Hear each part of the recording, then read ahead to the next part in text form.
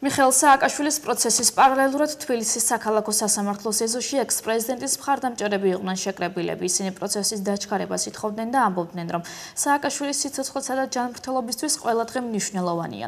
თანაპარტიელების შეფასებით ექს-პრეზიდენტს ექს-პრეზიდენტის სახე ახლა ყველაზე მეტყველი საბუთია იმისა, რომ ხელისუფლებამ დანაშაული ჩაიდინა და მას ამიტომაც მალავენ. შეკრებილების თქმით, ოცნების პოლიტიკა ავტორიტარული და დიქტატორული რეჟიმებისთვისაა დამახასიათებელი, სადაც ადამიანის უფლებებს ფასი არ აქვს.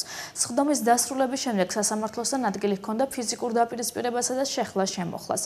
შეკრებილები პენიტენციური სამსახურის წარმომადგენელს გადაადგილების საშუალებას არ ეცლებდნენ.